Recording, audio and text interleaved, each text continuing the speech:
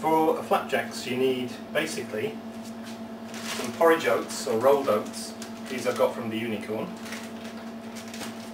some golden syrup, which is basically just a form of sugar, some ordinary sugar, which is confusingly in this cocoa jar, and some margarine, or you can use butter or oil as well. Okay?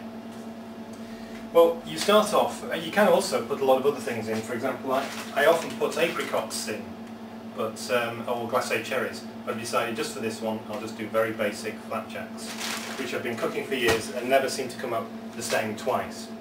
Anyway, what you need is a pan like this, not too big, because I find you really need to push the flapjack mixture solidly into it because one of the big problems with flapjacks is they're being too crumbly. What I do is I use an old butter wrapper like this to just grease it.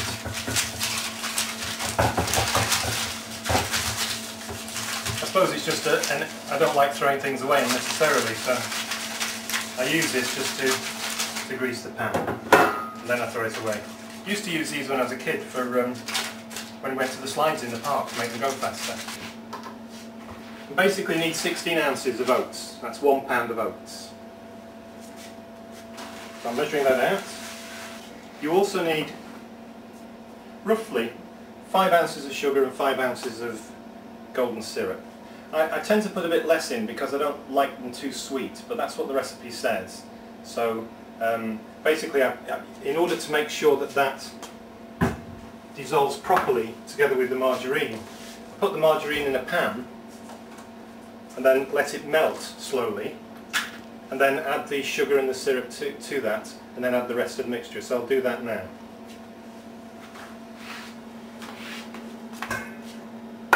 Here's the cooker already on, just usefully. So I'm putting the margarine, I've weighed this out previously.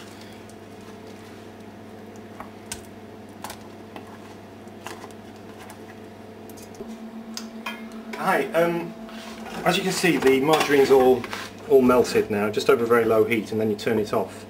It's, by the way, it's 10 ounces of margarine, I hope I gave the right amount earlier. Um, about the same amount of sugar and golden syrup would go in it, so I'll throw those in with it. I'll just give a rough approximation of the sugar. And I'll squeeze the golden syrup, it's about a third of this bottle.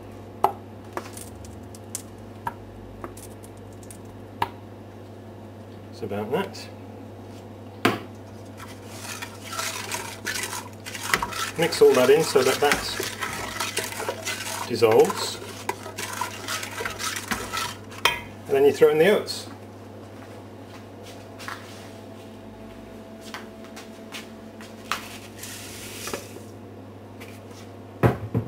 And mix those up. Remember you've turned the heat off you don't. You only need it to melt the margarine, not to cook it at all. It's going to cook in the oven.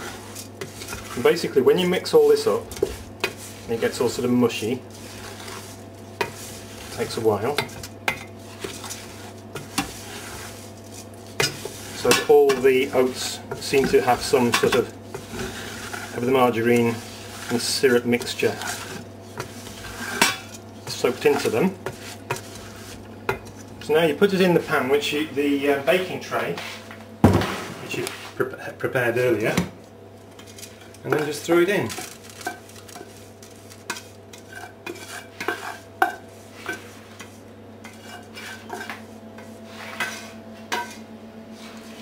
Is that you're fitting it into the pan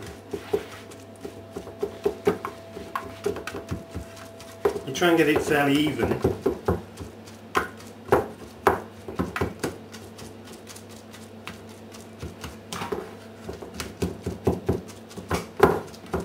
it into the edges and have it reasonably the same thickness obviously.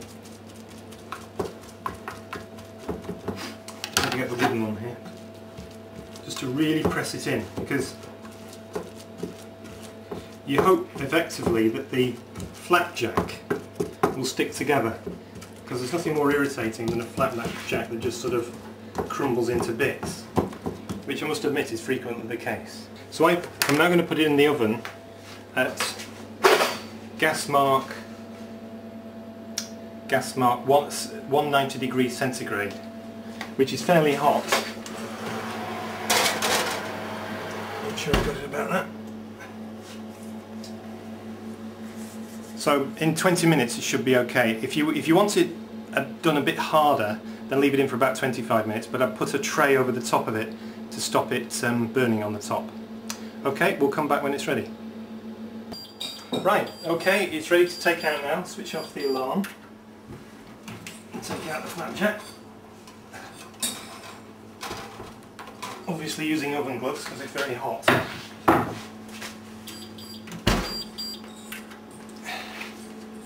And there it is.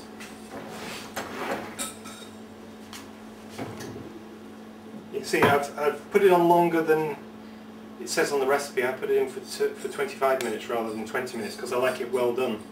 Now one of the tricks as well is not to cut it now but wait till it's cool before you cut it into pieces.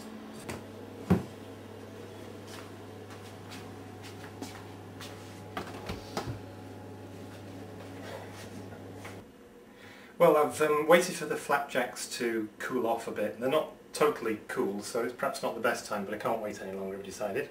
So I'm going to try and cut them, just with a, an ordinary knife, so you, you, don't want it too sharp or else it might scratch the, um, the baking tin. And I just tend to do them in fairly large pieces. Mm. Almost perfect. Put it in the tin. Let's try another one. Now that's perfect. A flapjack, nice and big enough to enjoy.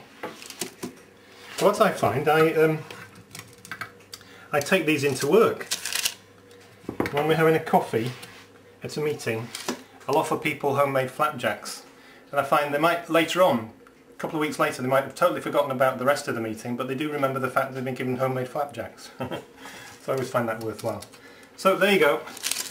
Bernard's very easy flapjacks made with oats and syrup. And should I try one? Well, I'll just try this bit that's fallen off. Just right, very nice.